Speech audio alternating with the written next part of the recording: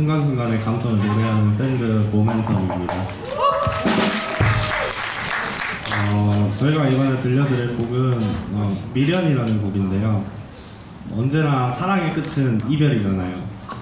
그래서 이제 그 이별 속에서 내가 어떻게 망가지고 막 그 좀 그런 것에 대해서 표현을 해봤고 또 어, 모티브를 생각해서 쓴 곡이니까 모티브를 잘 들어주셨으면 좋겠습니다.